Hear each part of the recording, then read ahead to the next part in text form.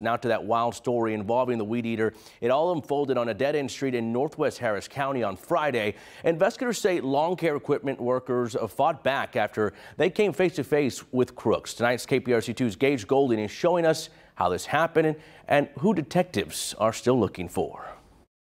A lawn care crew was out here hard at work, earning an honest living when one of the workers noticed something while weed eating. He saw not one, but two cars pull up next to his trailer.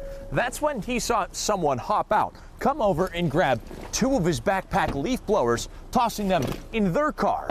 But the employee, he fought back using his own weed whacker to slash the suspect in the face. The suspect was kind of incoherent from being being hit in the head with the weed eater. You can almost feel the pain from just seeing Jarrell Alexander's mugshot. He's one of five suspects and the unlucky one who went face to face with a weed eater. He was he was halfway in the vehicle, halfway out in the process of putting the blowers in, and he was able to strike him with his weed eater in the head um, causing him to fall out the vehicle. A lawn care worker fighting back against the thieves, but it wasn't enough. They still managed to get away with the two leaf blowers worth around 1400 bucks. Alexander's friends initially leaving him high and dry before coming back. The red Nissan comes back.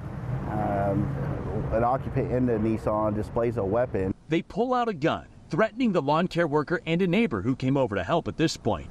But the not so bright bandits dumped Alexander off at the hospital. Not before all four of them were caught on camera inside. Deputies now looking for their two cars. A black Mercedes and a red Nissan Altima. This is a popular quick grab crime, which usually ends up with selling the stolen goods to a pawn shop, which is why constable deputies want to make sure your equipment stays in your truck. Take photographs of your equipment, log the serial numbers down, you know, and you can go a step further, put in put a special marking.